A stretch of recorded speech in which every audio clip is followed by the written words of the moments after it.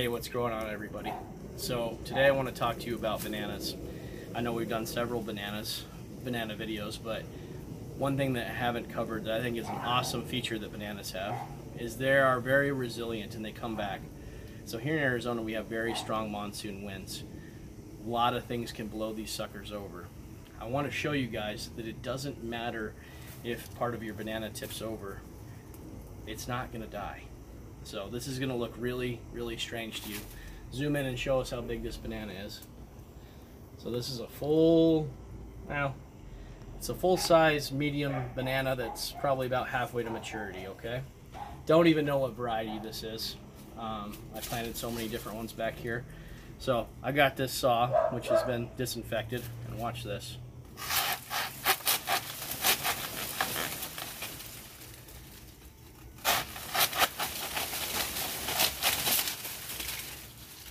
Okay.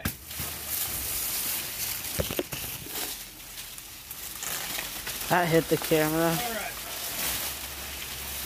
That'll be some mulch for us later. Um, so camera guy, come over here. Okay. Look at the top of this. So, here, I'll, I'll film. So, if you look at this, this little center piece right in here, that piece is basically the heart of the banana. And I'm going to show you guys in a few hours how different it looks.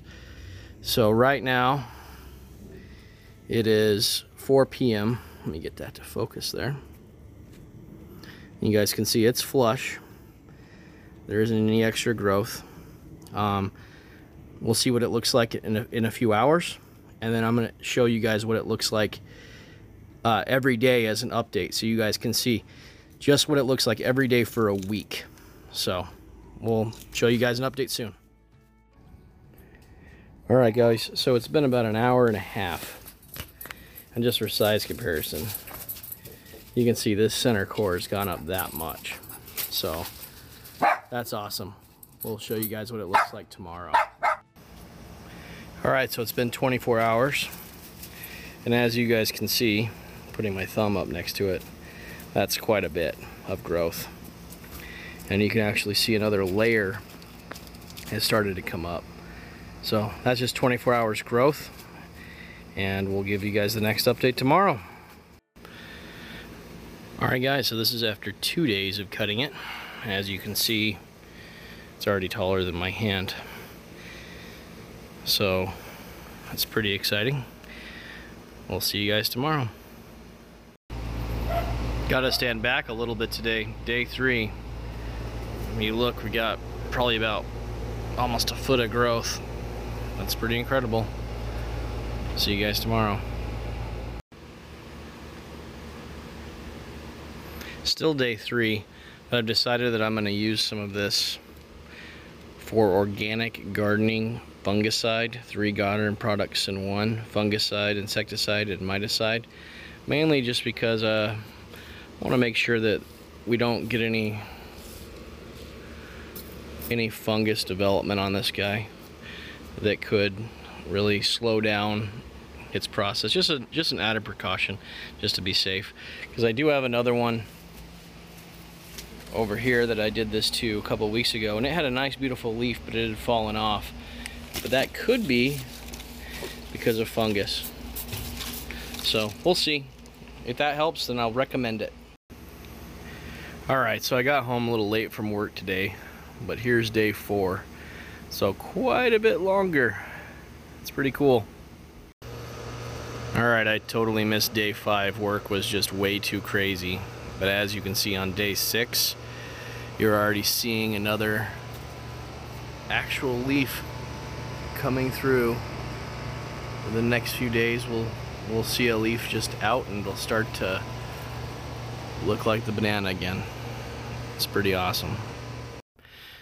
All right, another long day, so I have to do a night shot, but you guys can see the leaf there is coming out, and it's definitely opening up. So this is uh, seven days, so it's a week. I'll continue doing this until we see the leaf open up, but a lot of progress in just a week. All right, guys, it's day eight. You guys can see quite a bit of growth.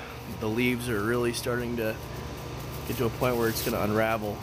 So I think the key at this point is to not let this section um, kind of get weak. We don't have a lot of wind in this area, so I think it's okay. But we'll show you more tomorrow. All right, guys, so day nine. Not a whole lot of difference between day nine and day eight. It's opening up a little bit, but that's where we're at. All right, guys, day 10. So you can see the leaf is really starting to open up now. And you can actually see what portion of the leaf I cut down on the bottom as it's growing. So that's day 10. We'll be back. All right, guys, day 10.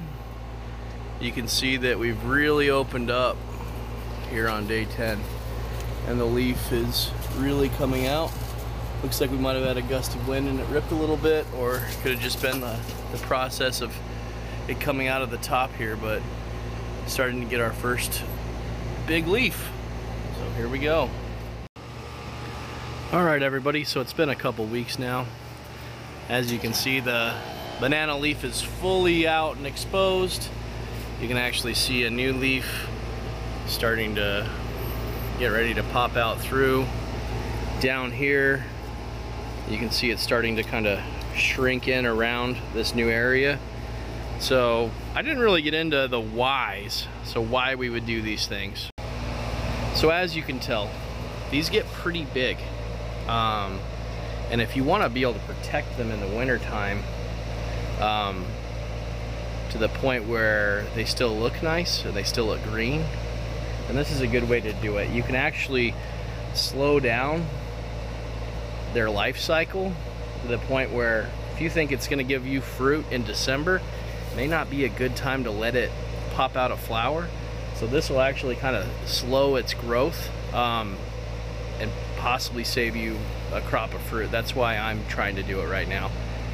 The other reasons are uh, I have a shade structure back here that I'm going to be converting into a um, winter winter protection area with uh, some plastic sheets and it'll stick up way too high so it won't fit inside here so this is another way that I'm going to be able to really protect it and not have the leaves poke, poke against the, the plastic wrap because that'll burn them and kill them too. So it's a really good way to keep them small in the wintertime. And also uh, the main point of this is don't freak out if they tip over. There's a really good chance that they're gonna grow back and actually they'll thrive. You're not gonna notice any, any difference in the banana other than it might be a little bit shorter. So hopefully this was helpful. If you like the channel, please subscribe and we'll keep bringing you more content. Thanks. Bye.